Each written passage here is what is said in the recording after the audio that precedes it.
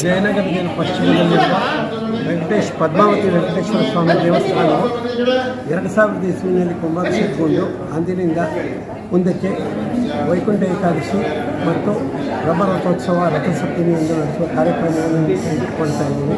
ಇದನ್ನು ಪ್ರತಿ ವರ್ಷವೂ ಅದ್ದೂರಿಯಿಂದ ನಡೆಸ್ತಾ ಬಂದಿದ್ದೀವಿ. ಅದೇ ಪ್ರಕಾರವಾಗಿ ಇಂದು ಎರಡನೇ ತಾರೀಕು ಜನವರಿ ಎರಡು ಎರಡು ಸಾವಿರದ ಇಪ್ಪತ್ತ್ಮೂರರಂದು ವೈಕುಂಠ ಏಕಾದಶಿಯ ಕಾರ್ಯಕ್ರಮವನ್ನು ಅದನ್ನು ಇದ್ದೀವಿ.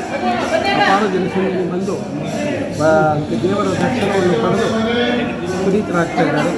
ಎಲ್ಲರಿಗೂ ಸಕಲ ಸೌಭಾಗ್ಯಗಳು ಸಂತು ಸೌಹಾರ್ದ ಮತ್ತು ಶಾಂತಿಯಿಂದ ಬಾಳು ನಡೆಸಲಿ ಎಂದು ಈ ಮೂಲಕ ಹಾರೈಸಿದ್ದೇನೆ ನಮ್ಮ ಹೆಸರು? ಡಾಕ್ಟರ್ ಪ್ರಸಾದ್ ಬಿ ಅಯ್ಯಂಗಾರ್ ಅಂತ ನಾನು ಅತಿ ಇಂಡಿಯಾ ಫೌಂಡೇಶನ್ ಟ್ರಸ್ಟಿನ ಕಾರ್ಯದರ್ಶಿಯಾಗಿದ್ದೀನಿ.